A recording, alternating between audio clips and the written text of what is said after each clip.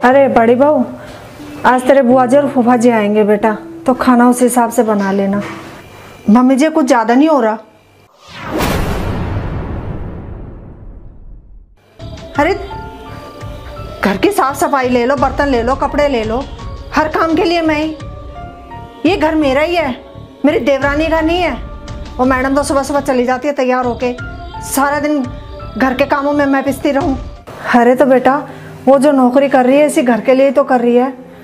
आधे घर का खर्चा उसी की नौकरी से चल रहा है, ये समझ ले। और वो भी बाहर काम ही कर रही है बेटा। कोई खाली तो बैठी नहीं है। हम्म। दिखता है जैसा काम कर रही है।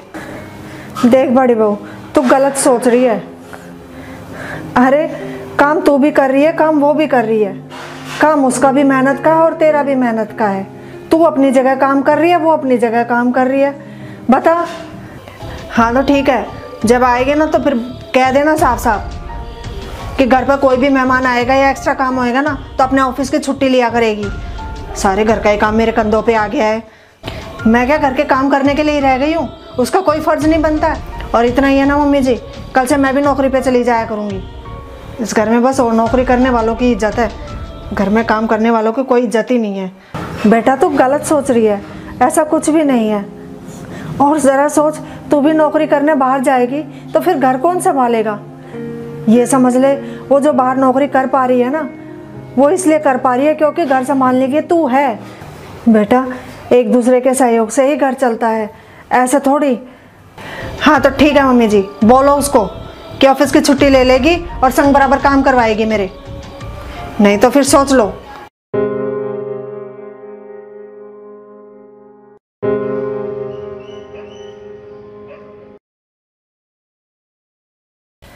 आ गई बहू आ गई मैडम। देख, आज है ना बात साफ़ साफ़ हो ही जानी चाहिए।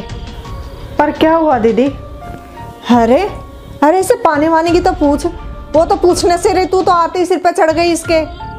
थकी आ रही आई अगली। क्या हुआ मम्मी जी? मैं बताती हूँ। देख, अब मेरे से अकेले ये घर के काम नहीं होते। खुद तो चली जाती है तू सुबह सुबह और ये सुबह से लेके मैं रात तक मेरे से ये घर के सारे काम नहीं होते अकेले। अब तुझे भी मेरे साथ संग बराबर काम करवाना पड़ेगा नहीं तो तू देख ले। पर दीदी मुझे ऑफ़िस भी तो जाना होता है। और वहाँ से आने के बाद तो मैं शाम को आपके के साथ किचन में पूरी हेल्प करवाती हूँ ना। हाँ तो चार रोटियाँ वो थप थप करने को तो मेरी हेल्प करवाने को कह रही है। अरे काम तो सारे सुबह के ही होते हैं। साफ़ सफ़ाई कपड़े लत्ते झाड़ू पोछा और ऊपर से आए गए का खाना वो रह गया अलग। हाँ तो बड़ी बहू, घर की साफ़ सफ़ाई के लिए, बर्तनों के लिए तो काम वाली लगी हुई है ना? और कपड़ों के लिए ऑटोमेटिक मशीन वो भी तुझे हाथ से नहीं धोने पड़ते। और रही कपड़ों की, वो मशीन भी बहू नहीं ला के दी थी ना तेरे लिए, कि दीदी दुखी नहीं होएँगी। क्या समझ ले, उसके हिस्से का तो काम हो ही रहा है ना? हाँ तो कौन सा एहसान करे मेरे ऊपर? रसोई की तो सारी ज़िम्मेदारी मेरे ही सिर पे है ना? रसोई में तो मुझे ही लगना पड़ता है ना? तो ठीक है खाने से परेशानी है ना तुझे तो सुबह का खाना मैं बना दिया करूँगी। ठीक? और बोल। बहुत बढ़िया। ताकि कल को आपको ये बात कहने को मिल जाए कि बहू के होते सोते देखो सास को खाना बनाना पड़ रहा है। अब तो इस बट भी नहीं ली जा रही, उस बट भी नहीं ली जा रही।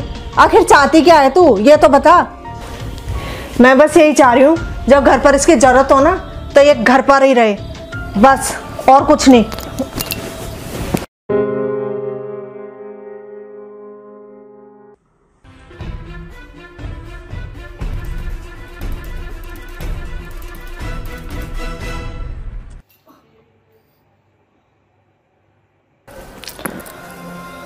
दीदी। अरे प्रिया, तू दीदी, मैं आपको दवाई देने आई थी। आप दवाई ले लो।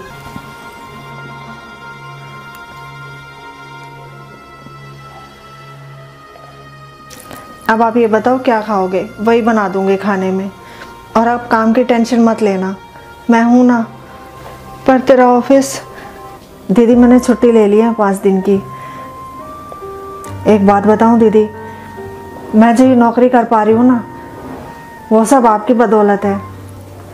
अगर आप नहीं होती तो मैं शायद ये जॉब नहीं कर पाती। मैं बेफिक्र होकर ऑफ़िस चली जाती हूँ, क्योंकि मुझे पता रहता है कि आप पीछे से सारा घर संभाल लोगे, सारे घर का काम संभाल लोगे। लेकिन अब अब मैंने छुट्टी इसलिए ली, क्योंकि मुझे पता है कि आपको मेरी ज़रूरत है। आप चिंता मत करो दीदी मैं सब संभाल लूँगी। आप बस रेस्ट करो। प्रिया मुझे माफ़ कर दे। मुझसे बहुत बड़ी गलती हो गई। मैं तुझे पहचान ही नहीं पाई।